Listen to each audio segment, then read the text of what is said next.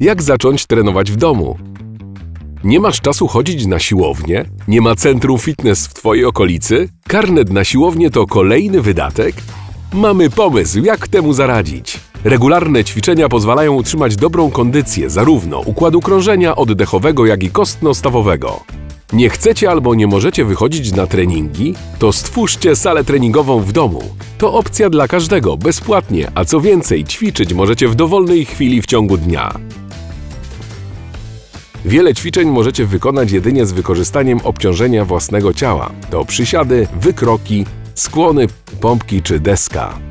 Możecie też zaopatrzyć się w hantle, gumy oporowe, fitball czy skakankę i matę, dzięki której wygodniej będzie wykonywać ćwiczenia na podłodze. Ale mała podpowiedź, do ćwiczeń możecie wykorzystać też to, co macie w domu. Zamiast hantli użyjcie butelki wody, a steper może zastąpić stopień schodka. Trening w domu to pole do waszej wyobraźni i kreatywności. Pamiętajcie, żeby ilość powtórzeń, serii oraz tempo i intensywność dopasować do swoich możliwości.